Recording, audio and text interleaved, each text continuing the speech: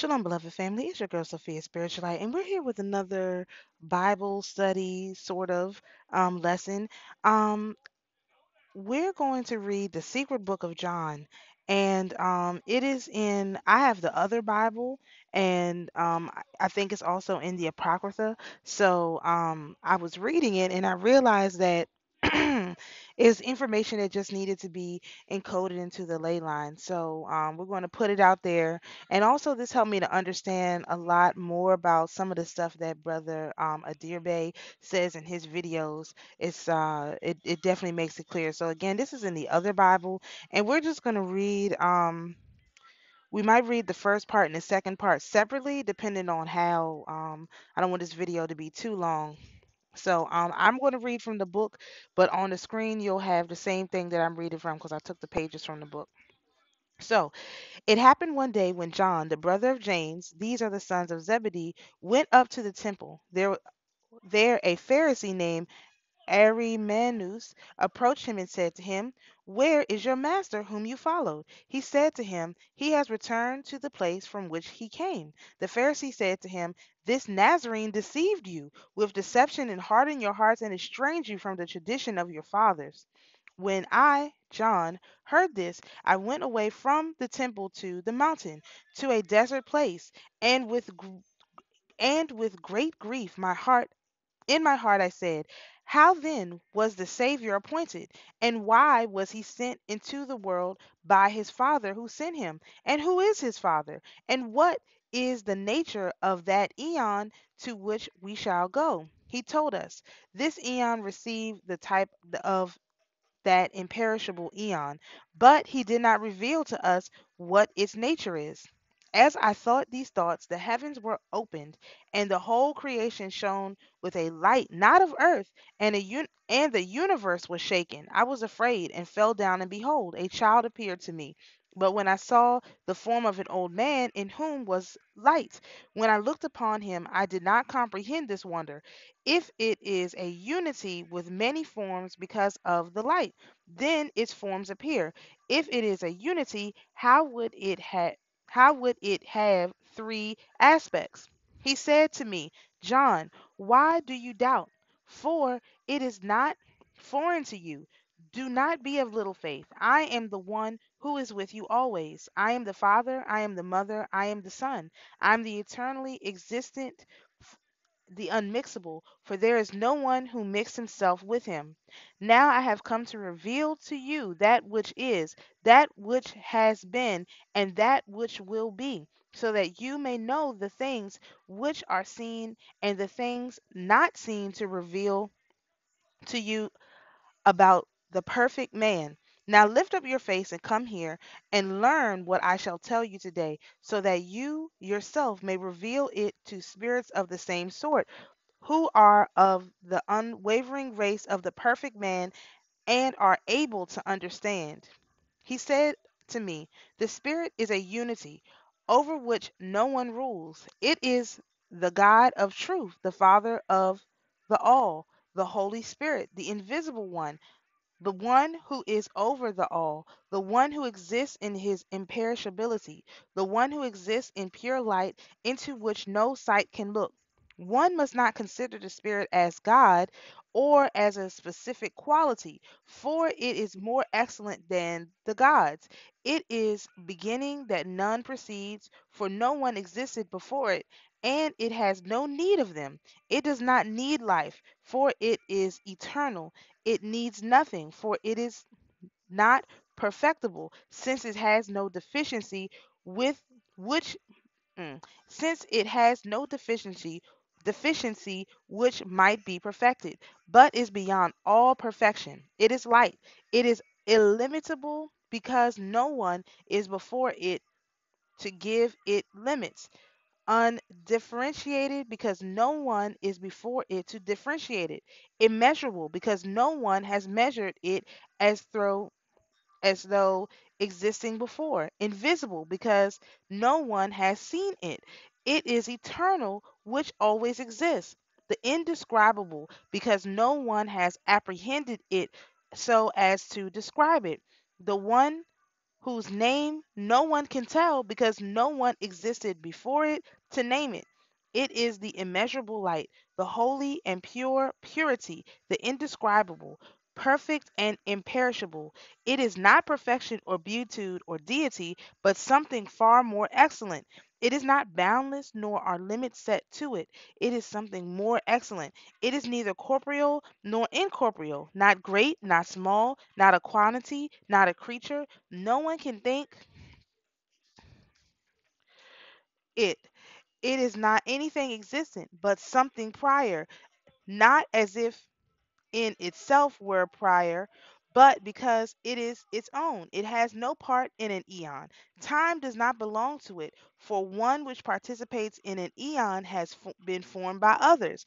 Time is not allotted to it, since it receives nothing from any other which it allots. It makes use of nothing. In short, there is nothing before it. It seeks only itself in the perfection of light and comprehends the pure light. It, the immeasurable greatness, the eternal, the giver of eternity, the light, the giver of light, the life, the giver of life, the blessed one, the giver of blessedness, the knowledge, the giver of knowledge, the eternal good, the giver of good, the benefactor, that which is not of such a kind because it is such, but it gives qualities, the merciful mercy, the grace giving grace, the immeasurable light. What shall I say to you of it?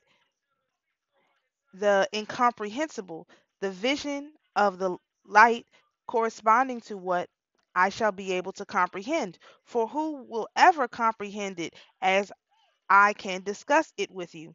Its aeon is imperishable, existing in rest and reposing in silence. It existed before the all. It is the head of all eons. If another were with it, for no one among us has recognized that which belongs to the immeasurable one except the one who dwelt in it.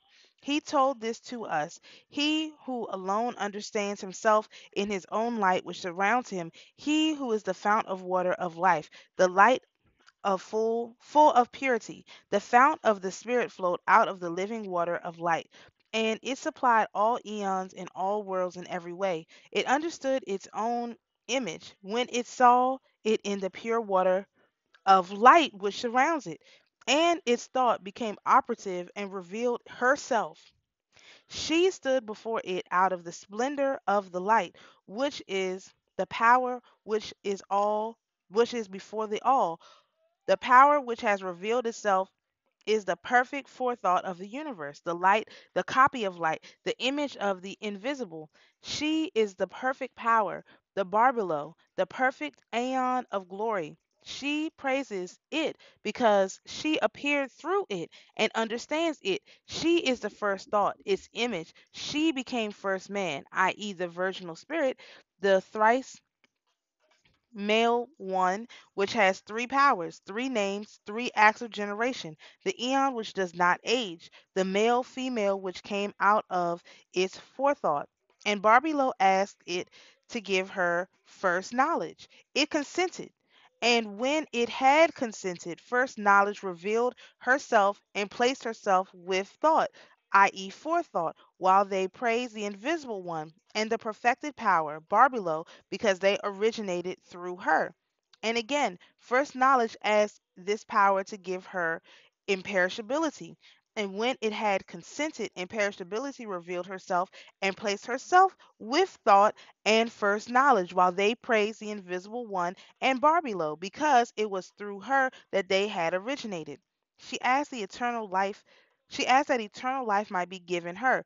It consented, and when it had consented, eternal life revealed herself, and they stood there while they praised it and Barbelo, because it was through her they had originated in the revelation permitted by the invisible spirit.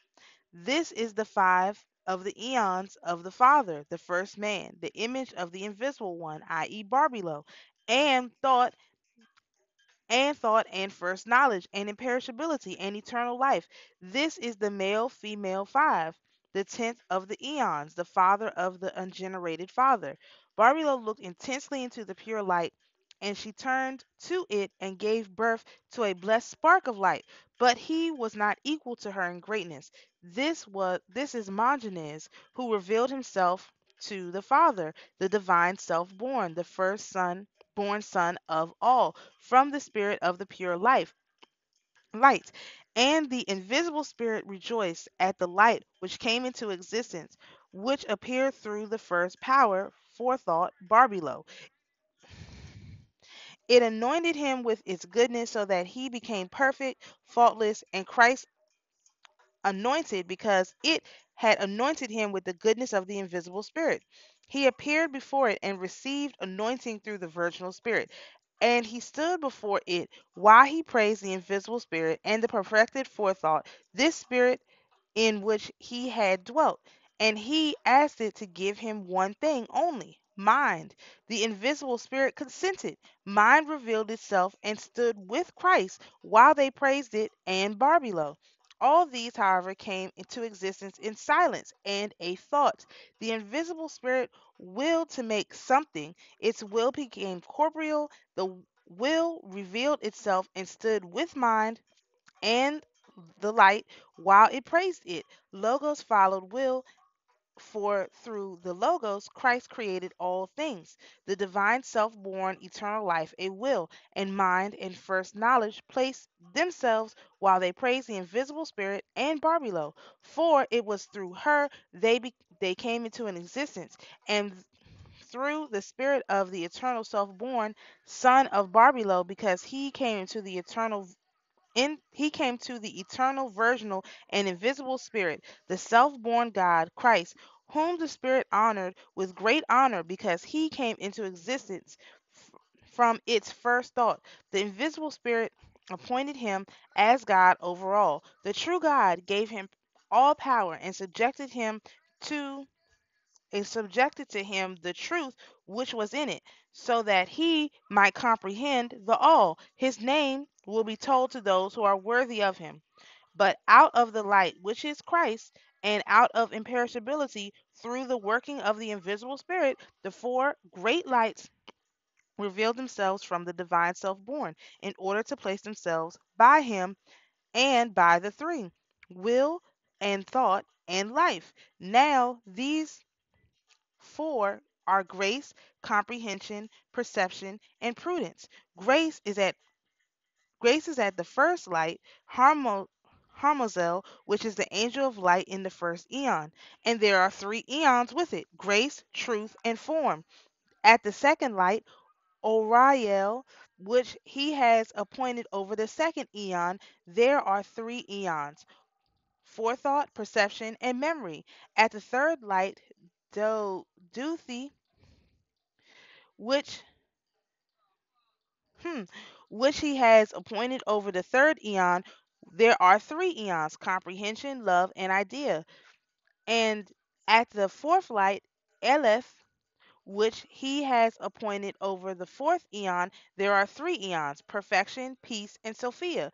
These are the four lights which stand by the self generator of the gods the 12 eons which stand by the child, by the great self generator Christ, through the good pleasure of God, the invisible spirit. The 12 eons belong to the Son, the self generated. All things are made fast according to the will of the Holy Spirit through the self born, out of first knowledge and perfect mind, through God, through the good pleasure of the invisible spirit, and through the good pleasure of the self born, came forth the perfect true man, the first appearance. He called him Adam and appointed him over the first eon with the great God, the self generator Christ, in the first eon of Harmozel, and his powers are with him and the invisible spirit gave him an invincible, intelligible power. The man said, I glorify and praise the invisible spirit, for because of thee all things came into existence, and all things aspire to thee. But I praise thee and the self born with the eons, the three, the Father, the Mother, and the Son, the perfect power. And he appointed his son Seth over the second light, Oriel, and in the third eon was placed in the seed of Seth, the souls of the saints who are eternally in the light. Dauth, In the fourth eon were placed the souls who recognized their perfection and did not immediately repent, but persisted. Finally, they repented. They will remain at the fourth light, Elith, which joined them with spirit, which joined them with itself while they praised the invisible spirit. Our sister Sophia, being an eon, conceived a thought from herself. Thinking of the spirit and, and of first knowledge, she willed to let a copy appear out of herself. The spirit did not agree with her or consent with her, nor did her consort, the male virginal spirit, approve. She found no more her supporter when she consented without the good pleasure of the spirit, but and the knowledge of her own supporter, because of the desire prunikos that was in her, she, she emanated outward. Her thought could not remain unproductive, and her work came forth, imperfect and ugly in appearance, because she had made it without her consent consort. It did not resemble its mother appearance, but was of another form. When she considered it, she saw that it was a copy of another appearance, since it had the appearance of a snake and a lion. Its eyes were shining with fire. She pushed it away from herself outside of those places, so that none of the immortals might see it, because she had brought it to birth with in ignorance. She could she joined a cloud of light with it and set a throne in the middle of the cloud so that no one might see it except the Holy Spirit, which is called life, the mother of all. And she named it Yaldabaoth. This is the first archon. From his mother he drew great power, and he withdrew from her and turned away from the place where he was born. He took possession of another place he created for himself an eon, flaming with shining fire, where he still is. And he joined himself with unreason, which was with him, and called the powers into existence. The twelve, twelve angels under him, each and in his eon according to the model of the imperishable eons. And for each of them he created seven angels, and the angels with three powers, so that all those under him are 360 angelic powers, including their three powers, which corre- correspond to the appearance of the first model which was before him.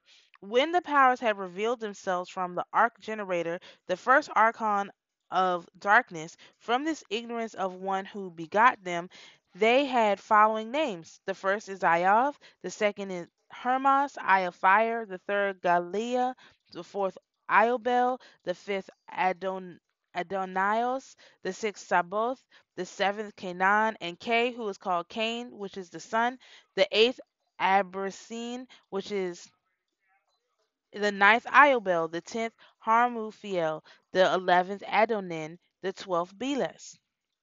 They will they all have still other names because of lust and wrath. They have still other double names which are given them. These were given them because of the glory of heaven. But these names correspond to truth, which reveals their nature. And Saklas called them by these names in a vision in relation to their power. Through periods of time, they withdraw and grow weak. Through periods of time, they attain strength and grow powerful. And he ordained that seven kings will rule over the heavens and five over the chaos of Hades. The names of glory of those who rule over the seven heavens are these. The first is Ioth with the face of a lion. The second is Elios with the face of an ass. The third is Astaphios with the face of a hyena. The fourth Io with the face of a seven-headed snake. The fifth is Adonios with the face of a dragon. The sixth Adonai with the face of an ape. The seventh Sabbatios with the face of shining flames of fire. This is the seven of the week. These are the ones who govern the world. But Yaldabaoth Saklas, who possesses many forms in order to reveal himself with diverse forms as he pleases, apportioned to them some of his own fire and power. He did not give them any of the pure light which he had drawn from his mother. Hence he governed them because of the glory with which was in him for the power of the light of the mother. Hence he let himself be called God, because he rebelled against the substance out of which he came into his existence. And he joined seven powers with the authorities. Because he spoke, they came into existence. He gave them names and appointed authorities. He began from above. The first is forethought with first Iof. The second is de- the second is the deity with the second. Elios, the third is goodness with the third, Astephos, the fourth is fire with the fourth, Io, the fifth is the kingdom with the fifth, Sabaoth, the sixth is comprehension, and the sixth Adonios. The seventh is Sophia, with the seventh Sabbatios.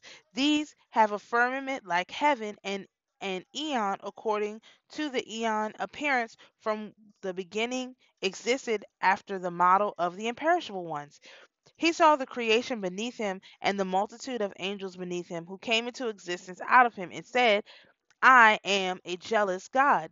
There is no other God beside me, already indicating to the angels beneath him that another God does exist. For if there were no other, of whom would he be jealous? The mother then began to be borne about because she recognized her deficiency.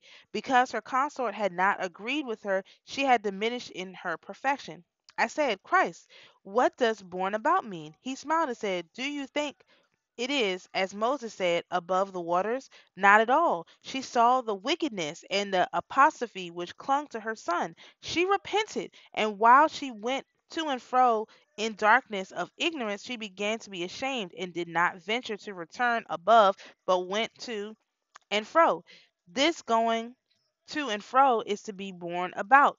After the self satisfied one had received the, a power from the mother, he did not know many things which was set over his mother. He thought that his mother alone existed. He saw the countless army of angels which he had made, and he felt himself exalted above them. But when the mother knew the abortion of darkness was imperfect, since her consort had not agreed with her, she repented and grieved exceedingly. He heard the prayer of her repentance and the brother's petition on her behalf. The Holy Invisible Spirit gave permission. And after the Holy Invisible Spirit had given permission, it poured over her a spirit from the perfection. Her consort came down to her in order to correct her deficiency. He decided in his forethought to correct her deficiency. She was not led back to her own eon, but because of her abundant ignorance which had appeared in her, she is the nine. She is in the nine until she corrects her deficiency. All praises to the Most High. Okay, so I'm gonna do another video for the second chapter of this book, but it's a, I mean, of this um this secret book. But there's a few things I want to point out.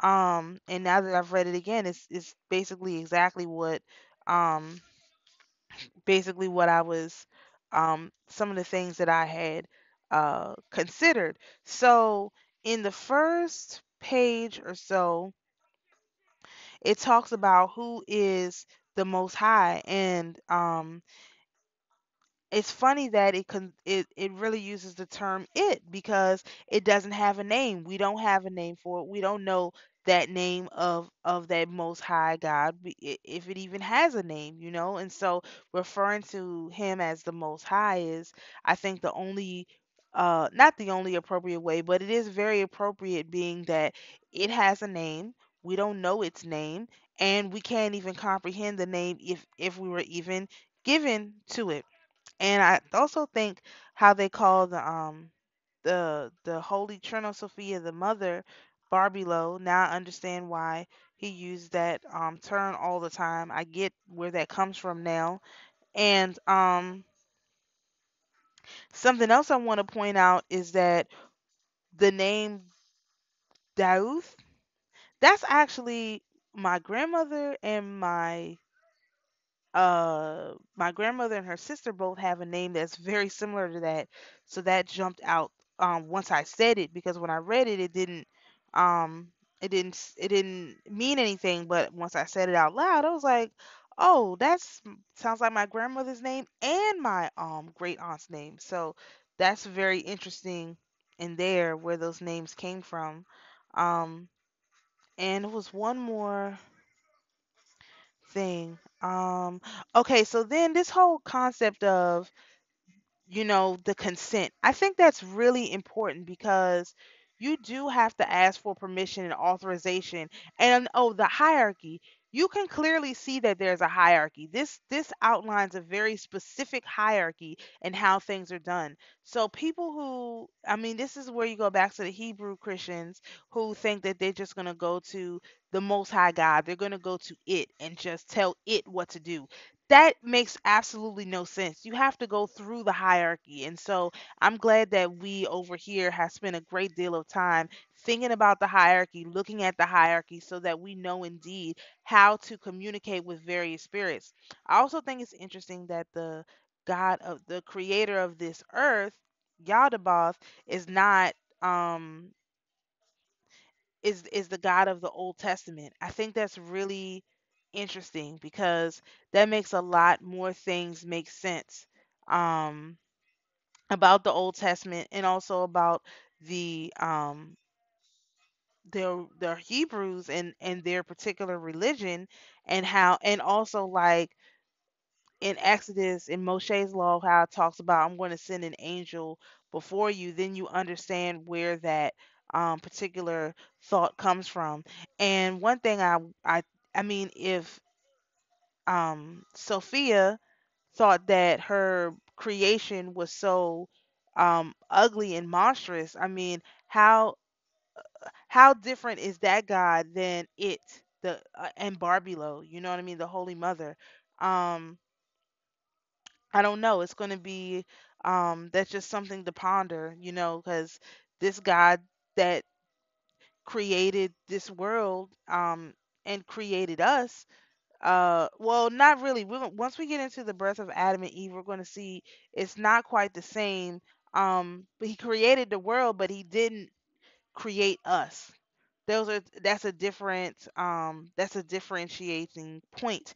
And so i want to point that out. We're going to get to that. So again this um you know the most high created the the most high well the most high gave authorization for the christ well for barbelo the mother to create to the who's seen the spark in the the Christ who basically created himself.